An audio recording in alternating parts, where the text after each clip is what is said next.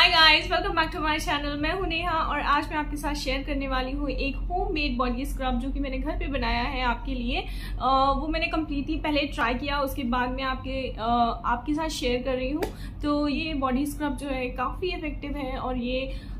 D tan भी करता है इक्वली आपकी बॉडी को और आपकी बॉडी को एक्सफोलिएट भी करेगा और एक्सफोलिएट इतना अच्छे से करेगा कि जब आप अपनी बॉडी को टच करोगे ना तो बड़ा चिकना चिकना फील होता है। चलिए देखते हैं बॉडी स्क्रब बनता कैसे है। सबसे पहले मेरे चैनल को कीजिए सब्सक्राइब और कीजिए share with your friends family and colleague so now without further do let's start the video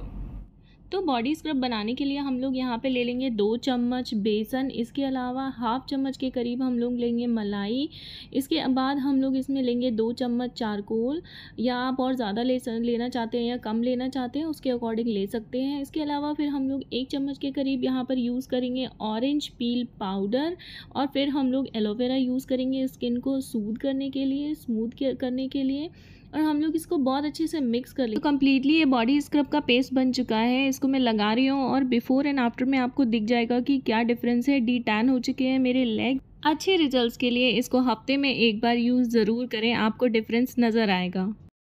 actually जब हम लोग स्क्रब करते हैं ना तो हमारी बॉडी काफ़ी ड्राई होती है तो उसके लिए कि आपकी बॉडी ड्राई ना हो उसके लिए हमने इसमें मलाई यूज़ किया हुआ है and that is very good for the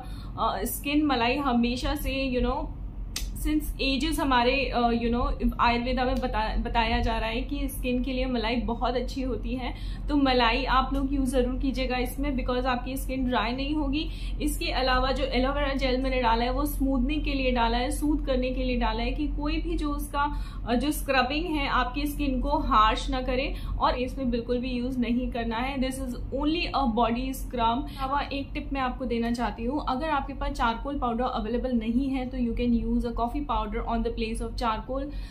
powder because जब भी आप ये स्क्रब बनाएँ तो थोड़ी देर के लिए उसको uh, मतलब रहने दें रख दें uh, जिससे कि जो उसके पार्टिकल्स हैं थोड़े से पानी को ऑब्जॉर्ब कर लेंगे तो वो थोड़े से सॉफ्ट हो जाएँगे और फिर वो आपकी स्किन पे हार्श नहीं होंगे। तो दैट इज़ वाई ये सब टिप्स फॉलो करते हुए आप uh, इस uh,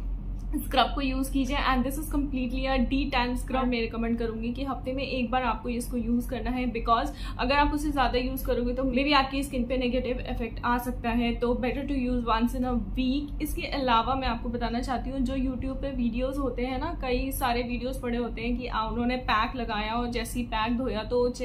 तो हाथ एकदम वाइट हो गया। तो ऐसे वीडियोज़ पर कभी ना भरोसा मत करना बिकॉज़ uh, कभी भी कोई चीज़ ना इंस्टेंटली अगर आपकी स्किन पे इफ़ेक्ट कर है तो that means it has a harsh chemical in the you know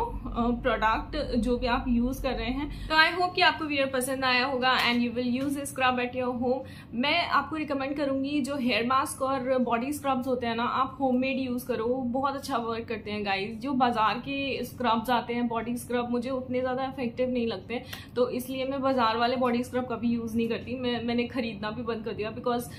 घर पे जो बनते हैं ना, बहुत अच्छे बनते हैं। एक मैंने ब्रेड का भी डाला हुआ है। ब्रेड का स्क्रब वो जो आप वो आप फेस पे करो ना, आपकी स्किन इतनी स्मूथ हो जाएगी, मक्खन की जैसी। उसका लिंक मैं आपको डिस्क्रिप्शन बॉक्स में दे दूँगी, वो ज़रूर ट्राई करना। बहुत अच्छा फेस स्क्रब है वो पूरा। I hope you will like it so I will meet you super super soon in next video bye